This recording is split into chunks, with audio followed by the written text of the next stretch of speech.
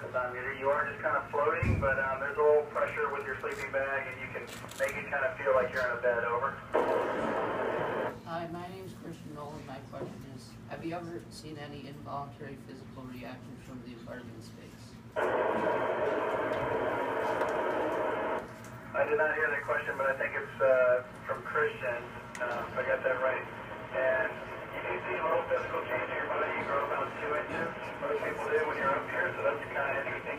Um, that's just because your spine is, doesn't have um, the forces on it that it does on Earth. Um, and I don't think I'm getting any smarter. I hope I am, but uh, I doubt that's true. Over. Hi, this is Kelly. What is the hardest thing that, that you've had to deal with on the ISS?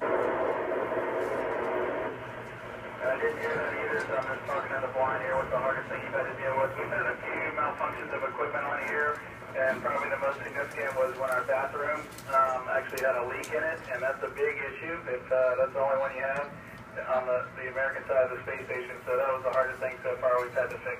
Over.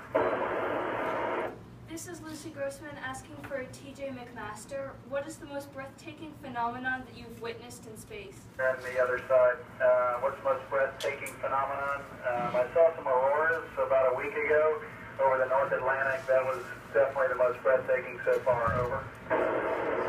Hi, this is Trinity again asking for Damien. Is there a compatibility test for you and your crewmates before launch? I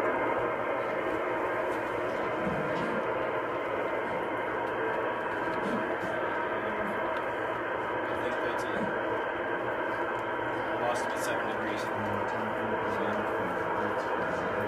This is Whiskey 2 Italy Romeo W2IR uh, NA1 IS or A- NA1 SS. Thank you very much. Hopefully you can hear me. Uh, 73 and uh, good luck up there. W2IR.